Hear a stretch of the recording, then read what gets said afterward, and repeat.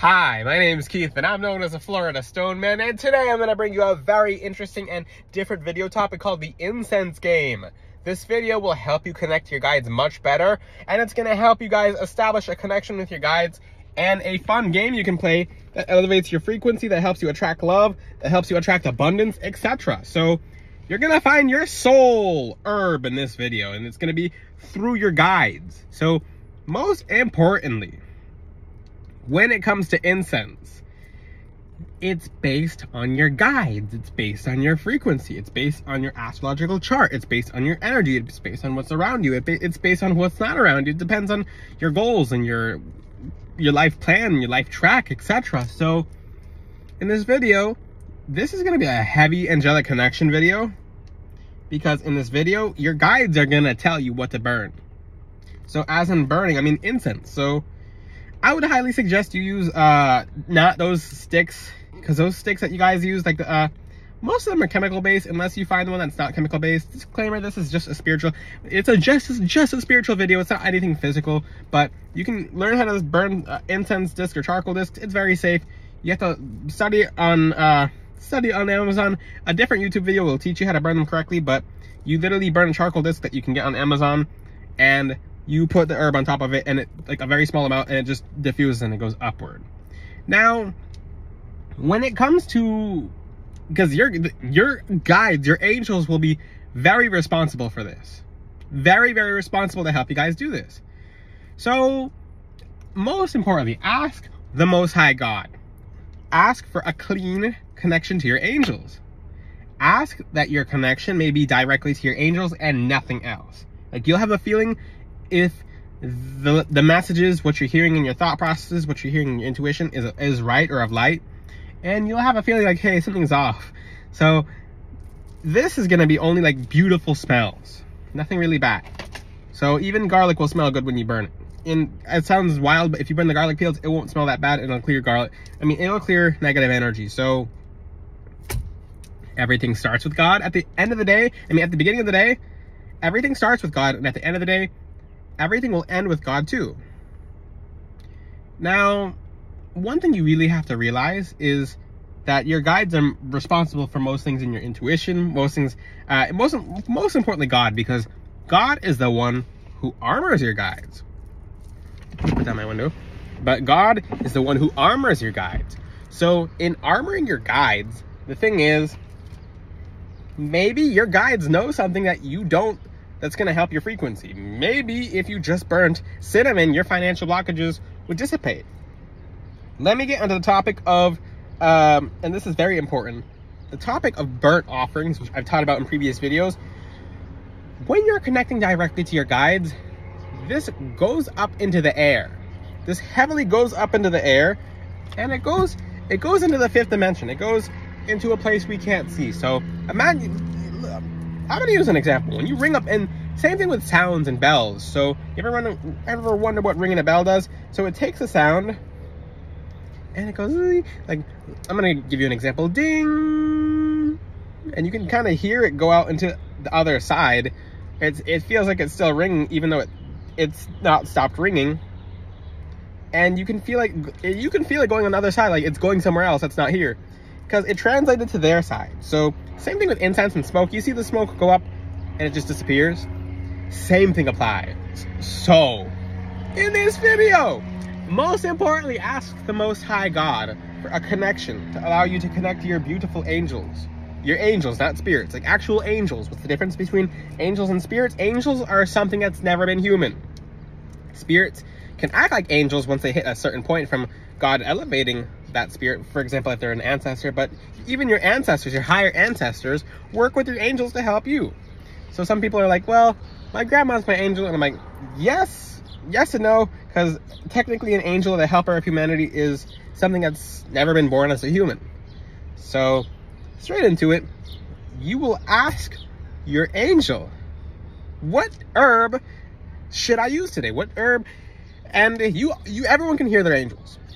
Some people can hear them with their physical ears, so they'll they'll hear a voice.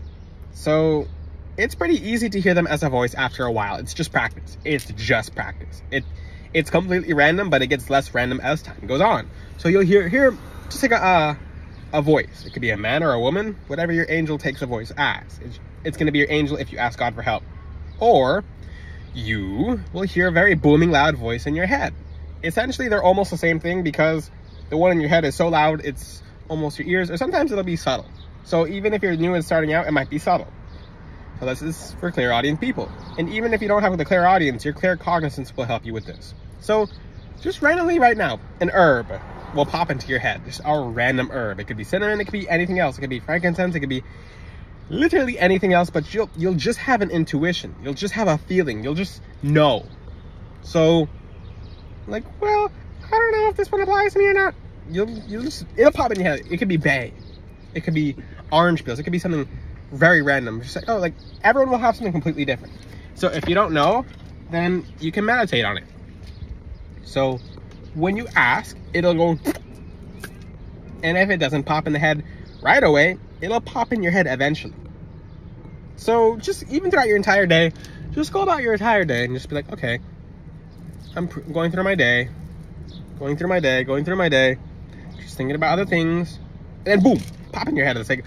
or you'll just have kind of like a, uh, like an etheric craving, like, hey, I really want uh orange today. I really want uh I'm really feeling like I, I'd like to smell this patchouli smell. I'd like to smell orange. I'd like to smell, uh, just maybe it could be sandalwood. Maybe it's pala, palo santo. So with palo santo, use this much if you're going to actually use it. Like this much. So maybe it's rosemary. So it doesn't matter. It's just, it's going to be completely random. You might not think it's right, but as long as the herb is nagging you, as long as it's like, it might annoy you. I'm like, why is this popping in my head? So your angel gave you the advice, or the your angels gave you advice. Maybe it's maybe it's more than one herb. If it's more than one herb, document it up to three or five. So the first one on the list will have to pop up first. What if you're torn between two? Use both. So the incense game consists of you connecting your connecting to your guide, you connecting to your clairvoyance, you connecting to your clairaudience, you connecting to the frequency of being able to perceive what just pops in your head. And it will change every single day. It will literally change every single day. So you might just be feeling, one day you might be feeling frankincense and rosemary. And the next day, frankincense and myrrh. Maybe, maybe you're just gotten sick of frankincense. Like, and you have to understand, some of these feelings that you're having is your higher self as well. So the offering just won't be taken up like that. It just won't be taken up like that. So uh, maybe in the higher dimensions, that frequency is like, uh, you've graduated from that frequency or you're, you're just kind of bored of it. So let's just say if you were, for a whole month, you were feeling patchouli and lavender, and you're like, I don't want to burn this anymore. It's because, and keep in mind, when you burn something, it becomes into the higher realms, the higher frequencies, and it changes. So let's just say you, you eat the same thing every day, and you're bored of it now. Same thing applies. So if this offering is going up to uh, your guides, and it really empowers them, let's just say, okay, let's time for a new, it's time for a new frequency. So you do something com completely different. You'll always have the feeling. You'll always have like a, a wondering, a craving, etc. So one day it might be like you're just, maybe it's the, the freakiest thing such as cherry wood or whatever. It doesn't matter because your guides will just stick it in your head. So this is very versatile. And this does help you find out where exactly your intuition lies. Where exactly uh, your psychic gifts are because you'll hear it as a voice, you'll hear it in your intuition, you'll maybe see it in a dream, etc. You'll just you'll just have an automatic knowing. It's different. Maybe you'll smell it, maybe you'll taste it, maybe uh, when you're eating food, like you're just you you, you just maybe you're craving something. So whatever you're craving, let's just say you're craving cinnamon buns. You're like, I don't know why I'm craving cinnamon buns. So you're craving it because that's an aspect that you've. So take cinnamon and burn it and then how let me let me explain how to do this game as well you'll do it once a day preferably before meditation or during meditation so you'll take this herb and you'll burn it before meditation and when you go into meditation your meditation will be that much more intense so when you're meditating when you're when you're tapping into the frequency and before the meditation use an herb that you kind of craved and it should always be good herbs good i mean no such thing as a bad herb but it shouldn't be anything crazy like uh there's no such thing as anything crazy like that but you'll have just a hankering for the herb. Like, okay, I feel, I, I just have the intuition to do this. And even if you don't have the intuition, it'll develop over time. It's a muscle. So What's the benefits of doing this game?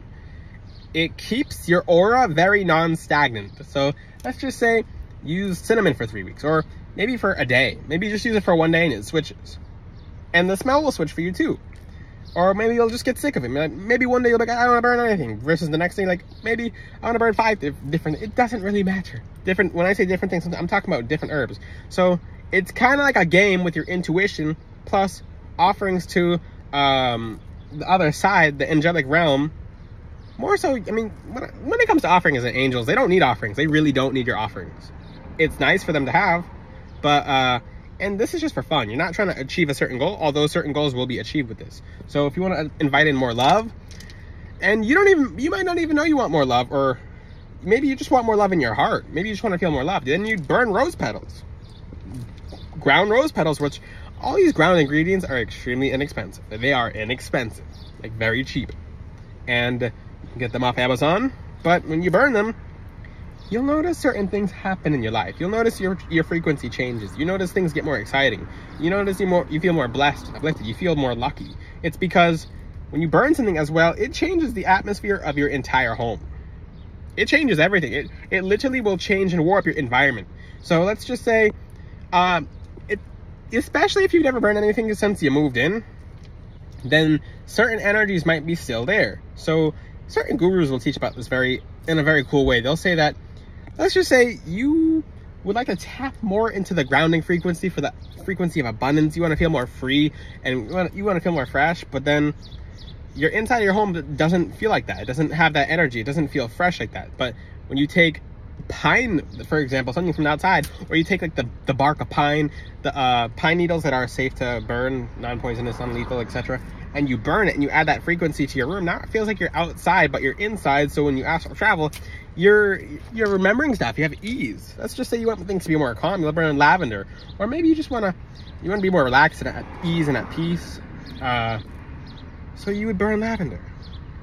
So lavender works really well. So it's just everyone's completely different. Some of you will hear things pop into your head that you don't even know of.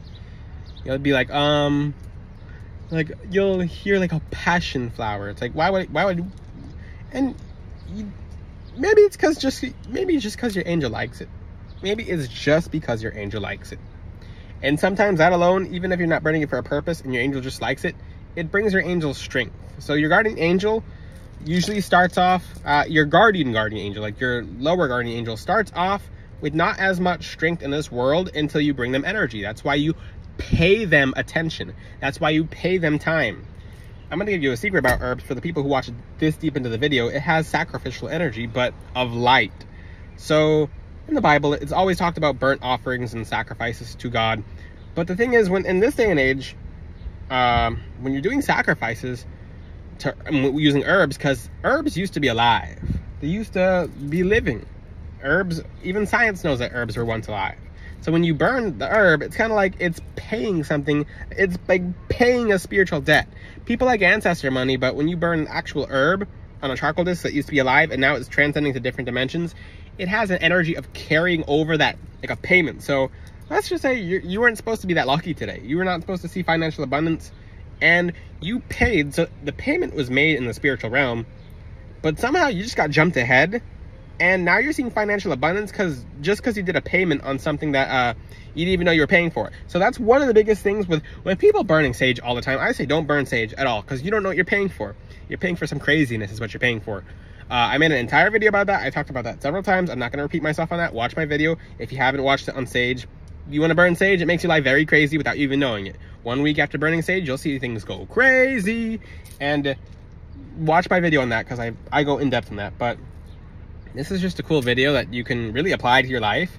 I would do this daily, three times a week at, I mean, at the most. Uh, you can do it daily, once once a day. At the least, I would do it once a week, three times a week, and you'll see some giant change coming. Like, uh, you'll find different things out about yourself. You'll you'll hear your guides better. You'll feel your guides better. You'll feel more connected because they'll be telling you what herbs to burn. They'll be like, okay, today star anise, or the next day it's like, hey, coriander. It's like, it'll be the most random thing. So something popping into my head for someone in this video to burn uh, rosemary for empowerment or for someone who is looking for uh, Let's see. Bay leaf to have your wishes granted and for everyone in your home to calm down and feel at ease. So, uh, next one, a really random one. Uh, passion flower, okay? So passion flower is really good for people who are looking for financial abundance, etc. It makes you very popular in people's minds, especially if someone is, uh, let's just say you're getting a job interview or whatever, etc. They put you first. That's it. Uh, if you have any questions, ask them in the comment section. Until then, I'll see you guys next time check out come oh uh, i'm gonna show you some of the new necklaces which i showed you guys in the last video but check out floridastoneman.com i'm introducing new necklaces to the website i still have yet to put the moonstone necklace on the website but i have some beautiful beautiful handmade that's lapis lazuli and amethyst and they're very powerful you wear them and your gifts start popping open you start feeling different connections to your angels and guides and yes i have these just casually in my uh in my box here so yesterday's was moonstone and amethyst. Look how beautiful that is. You guys, I mean, some of you can see the uh, the flash in the moonstone. It's gorgeous, but it's really small moonstone, so you're not going to be able to see the flash on camera like that. But check out Florida Stoneman if you haven't already. Until then, I'll see you guys next time. Ciao.